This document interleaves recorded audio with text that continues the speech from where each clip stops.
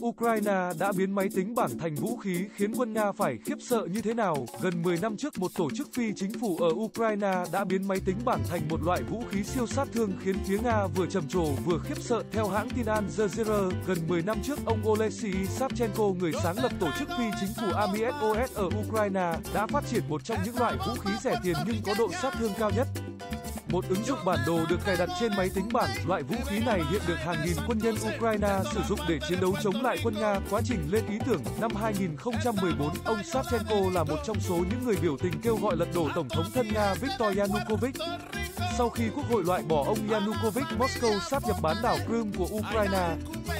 Trong thời gian này, hai tỉnh ly khai ở khu vực Donbass gồm Donetsk và Luhansk, miền đông Ukraine tuyên bố độc lập. Điều này đã khiến ông Savchenko hợp tác với nhà hoạt động cùng chí hướng và thành lập một tổ chức Army SOS. Nhóm đã quyên góp tiền để mua áo khoác và các thiết bị quân sự cho những người biểu tình trước đây. Những người tình nguyện chiến đấu chống lại phe ly khai mặc dù không được trang bị vũ trang và hầu như không được huấn luyện.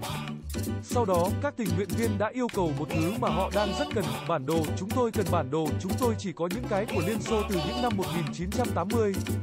Nơi từng có cánh đồng bây giờ là một ngôi làng hoặc một tòa nhà chung cư ông Savchenko nhắc lại đề xuất từ các tình nguyện viên. Tuy nhiên, thay vì in hàng nghìn trang bản đồ, Army SOS đã sử dụng một giải pháp công nghệ.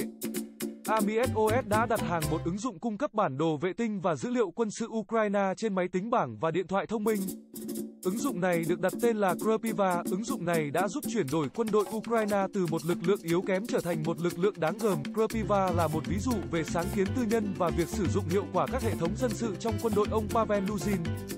Nhà phân tích quốc phòng tại Nga thuộc tổ chức tư vấn James Mỹ, nói với Al Jazeera, theo một binh sĩ Ukraine, kể từ khi ứng dụng được đưa vào sử dụng, quân đội bắt đầu quan sát môi trường xung quanh tốt hơn và các công cụ đã cho phép họ điều chỉnh pháo rõ ràng và chính xác hơn. Ông Savchenko cho biết sau đó, các tình nguyện viên đề xuất thêm tính năng đo khoảng cách nhập tọa độ và cung cấp chỉ dẫn và tính toán hướng bắn của pháo. Ngoài ra, các thiết bị được cài đặt ứng dụng này có thể thu nhận và truyền các tọa độ để binh lính có thể điều chỉnh hỏa lực pháo binh, máy bay không người lái hoặc radar. Nó cũng có thể tính toán khoảng cách tới mục tiêu và các phát bắn trực tiếp của từng loại pháo được sử dụng trong quân đội Ukraine. Các bước tính toán được thực hiện và truyền đi trong vòng vài giây khoảng thời gian có thể cứu sống binh lính phe mình và tiêu diệt kẻ thù. Ứng dụng cũng cung cấp dữ liệu khí tượng có thể ảnh hưởng đến mỗi lần bắn, bao gồm tốc độ và hướng gió, nhiệt độ và độ ẩm. Army SOS và các nhà phát triển đã bàn giao mã phần mềm miễn phí cho quân đội Ukraine vào năm 2018, không sợ bị kẻ thù chiếm được. Theo ông Savchenko, mỗi máy tính bảng giống như một con ong thợ trong tổ ong và nó chỉ chứa thông tin về môi trường xung quanh vào theo thời gian thực của người dùng. Nếu rơi vào tay đối thủ, các máy tính bảng này, vốn được bảo vệ bằng mật khẩu, sẽ bị khóa hoàn toàn chức năng tiếp cận với thông tin từ máy chủ. Thậm chí ngay cả khi quân Nga hoặc lực lượng ly khai thân Nga thu giữ một máy tính bảng đang hoạt động, họ cũng được chỉ huy khuyến cáo không nên sử dụng chúng. Hồi tháng 5, Top War một trang quân sự của Nga cảnh báo, format miễn phí chỉ có trong bẫy chuột.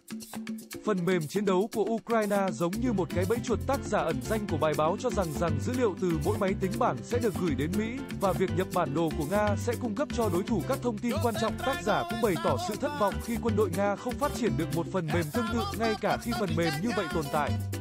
Nó vẫn chưa được cung cấp cho các đơn vị quân đội tiền tuyến tác giả kết luận. Kết luận này nhấn mạnh sự khác biệt giữa cách Nga và Ukraine phát triển vũ khí mới. Nhà phân tích Luzin cho biết một ứng dụng Krapiva khó có thể hoạt động ở Nga vì phức hợp công nghiệp quân sự của Moscow quá vụng về và bị ảnh hưởng do hàng loạt sĩ quan tình báo sống ký sinh. Các tính năng tương tự của Krapiva đều có thể thực hiện được.